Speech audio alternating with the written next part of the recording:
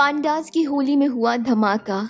मकवाना और पांड्यास की होली में हुई जमकर फाइट स्टार प्लस का शो पांड्या स्टोर में इन दिनों हाई वोल्टेज ड्रामा देखने को मिल रहा है। शो में अभी भी होली सेलिब्रेट किया जा रहा है। पर नताशा की लाइफ में कोई फेस्टिवल हो या फिर कोई काम और वो आसानी से हो जाए, ये इम्पॉसिबल है। तो ऐसे में होली के सेलिब्रेशन में भी होने वाला है धमाका। दरअसल पांड्याज और मकवानाज के बीच में जमकर फाइट होने वाली है। इस पूरी फाइट में कहीं ना कहीं चीकू की गलती है और चीकू लेना चाहता है धवल और पूरे मकवाना परिवार से बदला। नताशा उस फाइट में मौजूद होती है, उसे समझ नहीं आता है कि वो उस फाइट को कैसे रोके। नताशा चीकू और धवल दोनों को रोकने की कोशिश करती है, लेकिन उसकी एक कोशिशें नाकामयाब रहती है। और एक धमाकेदार फाइट के बाद मकवानास पांड्यास की होली को छोड़कर चले जाते हैं। लेकिन इस फाइट का असर देखने को मिलने वाला है नताशा और धवल के रिश्ते पर। देखना ही इंटरेस्टिंग होने वाला है कि क्या इस फाइट की वजह से अलग हो जाएँगे धवल और नताशा। आपको क्या कुछ कहना है इस पूरी अपडेट को लेकर? आप अपना ओपिनियन हमें कमेंट के ज़रिए ज़रूर बताइए। और साथ ही टेलीविज़न से जुड़ी सभी लेटेस्ट अपडेट के लिए सब्सक्राइब करें हमारे चैनल को